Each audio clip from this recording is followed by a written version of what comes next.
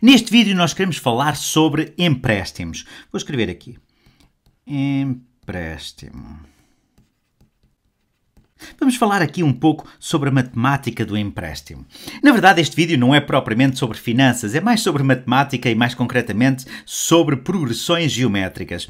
E então vamos ver o que é que isto tem a ver com um empréstimo. Então vamos supor que nós fizemos um empréstimo e que o banco nos emprestou, uh, não sei, 200 mil euros. Vamos supor que o banco nos emprestou 200 mil euros para para, não sei, para comprar uma casa. O mais típico é a pessoa querer comprar uma casa, ou chamado crédito à habitação. Então, vamos supor que uma certa pessoa fez aqui um certo empréstimo, uh, um crédito à habitação de 200 mil euros. E vamos supor que essa pessoa está a pensar pagar esse dinheiro em 30 anos, ou seja, em 360 meses.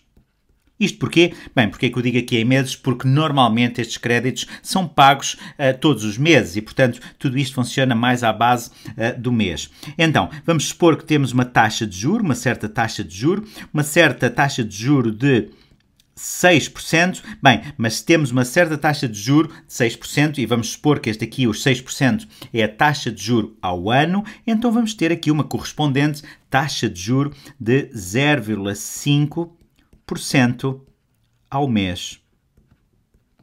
Esta aqui é a taxa de juro ao mês. É aquela taxa de juro que se aplica todos os meses para nós sabermos quanto é que temos de pagar em juro uh, naquele mês. Bem, o que acontece na prática é que quando nós vamos ao banco e pedimos então um empréstimo destes, tipicamente o senhor lá do banco faz lá umas contas, às vezes vai uma tabela ou às vezes o mais comum até é colocar estes valores todos no computador e o computador diz quanto é que a pessoa vai ter de pagar por mês. Vamos supor que o banco disse que a pessoa iria ter de pagar 1.200 uh, euros por mês da chamada mensalidade.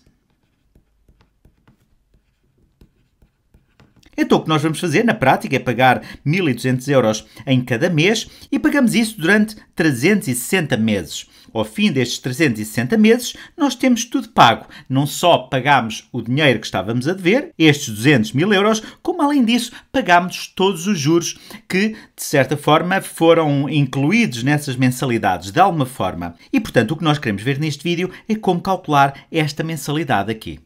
Então, e o que é que acontece na prática? Bom, na prática nós vamos lá ao banco, eles emprestam-nos estes 200 mil euros e, portanto, nós ficamos a dever 200 mil euros ao banco. No final do primeiro mês, o que é que acontece? No final do primeiro mês, eles vão aplicar esta taxa de juro. Portanto, não só estamos a dever este montante, como vamos ficar a dever, no fundo, também a taxa de juro que foi aplicada a este montante. Ou seja, vamos multiplicar isto por quê? Vamos multiplicar isto por 1 0,005. Este 0,05, no fundo, é aqui a taxa de juro. Este 1 vem do facto de ficarmos a dever esta quantidade mais a taxa de juro de 0,005. Mas o que é que aconteceu também neste mês? Bem, neste mês nós, entretanto, já pagámos uma mensalidade. Ou seja, já pagámos 1.200 euros. Então, esta quantidade aqui vai ser o montante que nós ficamos a dever ao banco no final do primeiro mês. Mas entretanto passa mais um mês e o banco vai aplicar de novo a taxa de juro. Então ele multiplica isto de novo por 1,005 para saber quanto é que nós estamos a dever ao fim do segundo mês. Mas, entretanto, nós pagamos, pagamos qualquer coisa. Voltamos a pagar 1.200 euros. E temos aqui o montante que ficamos a dever ao banco depois de dois meses de empréstimo. Bom, e nós podemos continuar por aí adiante. Isto vai-se vai -se repetir ao longo de 360 meses. Ou seja, se eu continuar aqui a fazer esta conta, estes parênteses vão, vão começar a abrir cada vez mais. Aqui, quando chegarmos a 360 parênteses, aqui, ou seja, quando completarmos todo o período do empréstimo, isto aqui vai ser igual a quanto? Vai ser, vai ter de ser igual a zero, porque no final nós queremos ter tudo pago, não ficar a dever nada ao banco. Então a questão aqui é como é que o banco consegue perceber qual é que é este valor este valor aqui que se vai mantendo constante ao longo de todos os meses, de forma a que no final tudo isto bata certo. Ou seja, no final o empréstimo fica pago e ao mesmo tempo pagamos todos estes pequenos montantes que foram eh, que se foram acumulando de certa forma de juro ao longo dos meses. Portanto, esta quantidade aqui, que é a mensalidade, nós vamos chamar P. E para percebermos como é que o banco calcula aqui esta mensalidade, nós vamos, digamos, subir um nível em termos de abstração. Vamos ver isto em geral. Ou seja, vamos supor que L é o montante de empréstimo. É o montante de empréstimo. Que aqui eram 200 mil euros. Depois, vamos supor que I, I vai ser o juro por mês. Muito bem. Aqui era, neste caso, 0,5% ou 0,005. Depois, vamos supor que N vai ser o número de meses em que nós vamos querer pagar o empréstimo. Neste caso eram 360, ou seja, 3 anos. Portanto, é o número de meses. E finalmente, vamos supor que P, vamos supor que P, P vai ser este valor aqui, este número misterioso, ao qual nós chamamos mensalidade. É o montante que nós vamos ter de pagar todos os meses.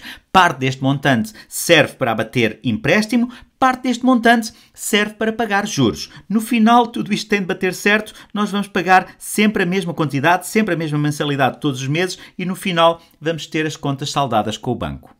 Então, agora aqui com todos estes valores em abstrato, nós podemos reescrever esta expressão aqui. Vamos ver como é que fica. Portanto, nós, por um lado, temos aqui o montante inicial, que neste caso vale L. Nós colocamos aqui L. Depois, nós vamos multiplicar, ao fim do primeiro mês, vamos multiplicar por 1 mais I. Reparem que aqui está 1 mais I. 1 mais I. O que é que é isto? Isto aqui vai ser o montante em dívida ao fim do primeiro mês, mais o juro. Mas, entretanto, há aqui esta mensalidade que, entretanto, nós pagamos. Isto aqui vai ser o que eu estou a dever ao banco ao fim do primeiro mês. Mas, entretanto, ao fim do segundo mês, o banco vai voltar a aplicar aqui a taxa de juro e, portanto, vai voltar a multiplicar isto por 1 mais I. Mas, entretanto, eu também lhe pago mais uma mensalidade. Portanto, entretanto, temos de subtrair aqui a mensalidade que eu paguei. E isto aqui vai ser o que eu estou a dever ao banco ao fim do segundo mês. Bem, e nós podemos ir por aqui além. Entretanto, estes parênteses vão se alargando. Nós vamos colocando aqui mais parênteses e quando tivermos aqui 360 parênteses, bem, neste caso não são 360, neste caso aqui eu estou a supor que são n. Ou seja, quando nós tivermos aqui n parênteses, quando nós tivermos aqui n parênteses, então vamos ter aqui toda uma certa expressão que eu sei que vai ter de ser igual a zero.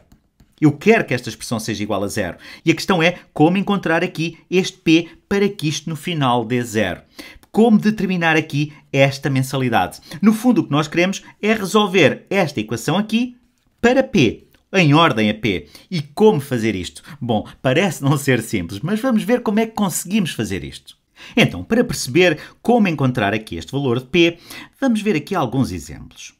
Imaginem que o n, que o n aqui é igual a 1. Vamos ver esta situação mais simples. Então, para n igual a 1, isto corresponde a quê? Isto corresponde a um empréstimo que eu pago todo, pago todo o empréstimo logo no final do primeiro mês. Então, eu peço ao banco um montante L. No final do mês, o banco vai multiplicar isto por 1 mais I, e isto aqui vai dar o quanto eu tenho de pagar ao banco. Eu vou ter de pagar ao banco uma certa quantidade, que no fundo vai ser a minha mensalidade, embora seja uma só mensalidade, eu vou ter de pagar uma certa mensalidade de forma a ficar de contas saldadas com o banco, ou seja, de forma a que isto dê zero. Este é o montante em dívida ao banco, o montante do empréstimo mais o montante de juro, e depois eu pago uma certa quantidade. Portanto, se eu resolver agora isto aqui em ordem a P, eu vou ficar com quanto? Bem, o P passa ali para o outro lado, que eu posso escrever aqui do lado esquerdo, fica P igual a L vezes 1 mais I. Que é a mesma coisa já agora que P a dividir por 1 mais I igual a L. E agora perguntam vocês, então mas se nós queremos descobrir ali o P, porquê é que nós escrevemos esta equação aqui? Bom, já vão ver. Vou ver que isto vai criar aqui um certo padrão e, portanto, interessa-nos ter a equação aqui neste formato. Vamos ver agora o que é que acontece se o n for igual a 2. Se o n for igual a 2. Bom, vamos também pedir L de empréstimo. Depois, ao fim do primeiro mês, o banco vai multiplicar por 1 mais I para calcular a nossa dívida ao fim do primeiro mês, mas nós vamos pagar uma certa prestação, P. E depois, ao fim do segundo mês, o que é que o banco vai fazer? Vai voltar a multiplicar por 1 mais I, para calcular a nossa dívida, e nós voltamos a pagar mais uma prestação, que vai ser igual à prestação do primeiro mês. E vamos querer que no final tudo isto dê zero, para digamos, ficarmos de contas saldadas com o banco. Cá está. Então vamos tentar resolver isto em ordem a P. Até vamos fazer o seguinte: vamos mudar aqui a cor deste P. Ambos são P's, mas nós vamos ver onde é que vai ter este P e onde é que vai ter este P no final. Então, nós vamos dizer que isto é equivalente. Reparem, este P vai passar para o outro lado, mas nós escrevemos aqui do lado esquerdo. Então fica P igual a L vezes 1 mais I menos, bem, menos este P aqui é rosa. E depois vamos ter tudo isto multiplicado por 1 mais i. Então agora o que é que vamos fazer? Vamos dividir por 1 mais i. Então vai ficar o quê? Vai ficar p a dividir por 1 mais i igual a L vezes 1 mais i menos, menos este p aqui a rosa. E agora vamos passar o p para o outro lado. Vamos baixar aqui um pouco para poder ver as contas. Então vai ficar este p, que entretanto vem aqui para este lado. Depois fica mais P vezes 1 mais I. E o que é que ficou do lado direito? Ficou L vezes 1 mais I. E agora vamos dividir tudo por 1 mais I. Vai ficar quanto? Vai ficar o P, aqui a rosa, a dividir por 1 mais I, mais P a dividir por 1 mais I. Mas, entretanto, este já estava dividido por 1 mais I. Portanto, fica 1 mais I ao quadrado. Então, isto tudo vai ficar igual a L. Então estamos a perceber que começa a criar aqui assim um certo padrão. Reparem, se for um mês, temos P a dividir por 1 mais I igual a L. Se for dois meses, temos P a dividir por 1 mais I mais P a dividir por 1 mais I ao quadrado igual a L. E nós poderíamos continuar. Por exemplo, se fizermos n igual a 3, ou seja, para 3 meses, nós podíamos escrever também esta equação e ir manipulando. Nós aqui não temos tempo de fazer isso. Eu vou colocar aqui umas reticências, mas se continuássemos por aqui abaixo, chegaríamos à conclusão que p a dividir por 1 mais i mais p a dividir por 1 mais i ao quadrado mais p a dividir por 1 mais i ao cubo era igual a L. Se quiserem, façam as contas. E eu encorajo-vos a fazer isso. Escrever aqui esta equação, claro que aqui vão ficar mais parênteses, porque se trata de n igual a 3, de 3 meses, mas se manipularem isso algebricamente, de uma forma análoga ao que foi feito aqui, vão acabar por chegar à conclusão que tem esta equação aqui. Em geral, em geral, em geral, em geral, podemos dizer que L vai ser igual, e reparem, eu aqui, em cada uma destas expressões, eu posso pôr o P em evidência. E, portanto, em geral, eu posso pôr aqui o P em evidência.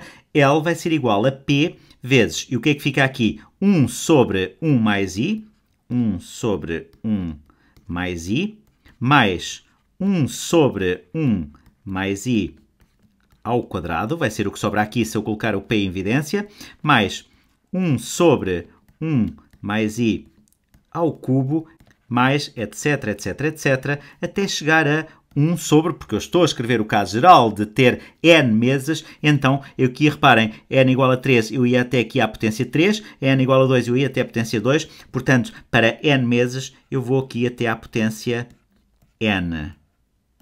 E cá está. O que está aqui vocês devem reconhecer como sendo a soma de uma progressão geométrica. Vamos escrever isto. Portanto, o que está aqui, o que está aqui é a soma de uma progressão geométrica. E até podemos escrever isto aqui com o somatório, escrever isto de forma um pouco mais compacta. Podemos escrever assim, soma, e agora vou colocar aqui 1 sobre 1 mais i. Reparem, 1 sobre o mais i elevado a qualquer coisa, que uh, eu vou colocar aqui, não sei, vou colocar aqui um índice j, que representa aqui este valor que vai aumentando. Reparem que aqui também temos uma potência, só que é a potência 1, ou seja, o j começa em 1. O j começa em 1 e vai até n. Toda esta expressão pode ser escrita desta forma, isto é, a chamada soma de uma progressão geométrica. De razão Q? De razão 1 sobre 1 mais i.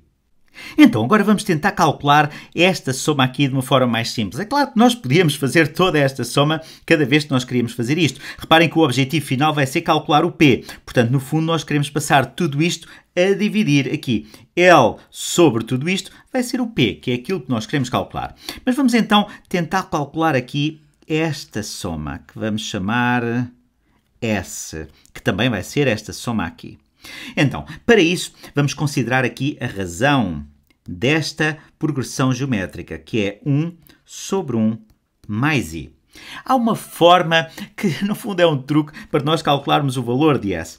E o truque é o seguinte: nós pensamos assim, ok, o S. O S é R elevado a 1, reparem que tem R elevado a 1, mais R ao quadrado, mais R ao cubo, mais etc, etc, etc, mais R elevado a n. Então vamos pensar assim, ok, se S é igual a isto, quanto é que vale R vezes S? Ou seja, então, R vezes S vai ser o quê? Bom, eu vou multiplicar aqui deste lado por R e aqui deste lado também por R. Ou seja, aqui fica R elevado a 1 vezes R vai dar R ao quadrado. Vai dar R ao quadrado. Depois, o R ao quadrado vezes R vai dar R ao cubo. Depois, etc, etc, o R ao cubo vai dar R à quarta, por aí adiante, por aí adiante. Reparem que aqui, antes deste, havia um R elevado a n menos 1. Bom, o R elevado a n menos 1, multiplicado pelo R, vai dar R elevado a n. Bem, e entretanto fica este R levantado a n, que multiplica por R, e fica R elevado a n mais 1. Então, agora vamos fazer uma coisa estranha, que é, se isto é igual a isto e isto é igual a isto, então quanto é que será isto menos isto? Vamos escrever aqui. Vou baixar mais um pouco. Então, então reparem, S menos R vezes S vai ser o quê? Bom, este menos este há de ser tudo isto menos tudo isto. Mas tudo isto menos tudo isto é o quê? Bem, temos aqui o R elevado a 1, mas depois ficamos aqui com r ao quadrado menos r ao quadrado, e estes dois cortam. r ao cubo menos r ao cubo, e estes dois cortam. E vão cortando por aí adiante, este corta algures aqui, este corta com este, e sobra aqui no final um r elevado a n mais 1. Então ficamos com r elevado a 1 menos r elevado a n mais 1.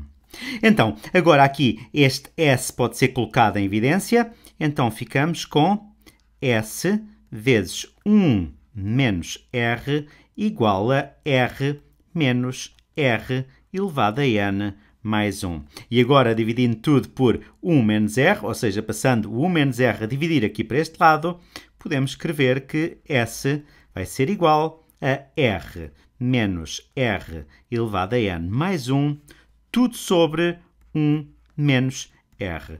E aqui temos uma fórmula que nos dá o S em função do R, em função desta quantidade aqui, que só depende do juro. E agora podemos pegar nesta expressão aqui, no nosso S, substituir aqui e resolver para P para calcular a nossa mensalidade. Reparem, eu tenho que L, L vai ser P vezes toda esta quantidade, que é S que é esta quantidade que está aqui. Então pode escrever aqui R menos R elevado a N mais 1, tudo sobre 1 menos R. E se quisermos resolver aqui em ordem a P, podemos passar isto para este lado. Como é uma fração, na prática, escrevemos aqui deste lado invertida e podemos dizer que isto aqui vai ser equivalente a ter P igual, igual a quanto? Igual a L vezes 1 menos R, tudo a dividir por R menos R elevado a N mais 1. E aqui temos a nossa fórmula que nos dá a mensalidade a pagar em função, por um lado, do montante, uh, do montante de empréstimo inicial e, por outro lado, em função aqui desta expressão que só depende de R, sendo que o R só depende aqui do juro mensal. Então vamos aplicar isto ao nosso problema inicial. Vamos supor então que nós tínhamos pedido os tais 200 mil euros. Vamos supor temos um juro mensal de 0,5%, ou seja, 0,005. E finalmente, vamos supor que queremos pagar isto tudo em 360 meses. Muito bem, vamos buscar a nossa calculadora. Então, a primeira coisa que nós temos de calcular é o R. E o R é igual a 1 a dividir por 1 mais i. Então vamos fazer 1 a dividir por 1 mais 0,005. E isto vai dar 0,995. Bom, arredondando, 0,995. Então vamos escrever aqui. R igual a 0,995. Isto aqui tem um arredondamento e estou aqui a perder alguma precisão, mas não deve ser um grande problema e de qualquer forma isto é só um exemplo. Então vamos buscar a nossa calculadora de novo. Então vamos fazer aqui L, e o L são 200 mil, vezes 1 menos 0,995, que é o R, fecha parênteses, a dividir por 0,995 menos 0,995 elevado a n mais 1. Como o n são 360, vamos fazer aqui 361. Bom, e isto claramente eu não conseguiria fazer de cabeça. Então, vai ser aproximadamente os tais 1200 euros. Então, podemos dizer que o P, a mensalidade a pagar, é aproximadamente 1.200 euros. Esta é a quantidade que temos de pagar mensalmente para que no final do empréstimo as contas fiquem saldadas com o banco. E pronto, da próxima vez que forem pedir o empréstimo, não precisam de confiar no banco ou, ou ir buscar uma fórmula misteriosa que vos acaba por dar uma mensalidade a pagar todos os meses. Podem fazer as contas diretamente aqui com estas fórmulas e chegar a uma, a uma mensalidade fixa que vocês vão pagar ao longo de um certo período e de forma que, no final desse período, vocês fiquem com contas saldadas com o banco. Ou seja, fique todo o empréstimo pago, todo o montante em dívida fique pago e, ao mesmo tempo, todos os juros que vocês ficaram a dever ao banco ao longo dos vários meses fiquem também pagos. Esta é a fórmula que vos permite calcular a mensalidade fixa a pagar ao banco.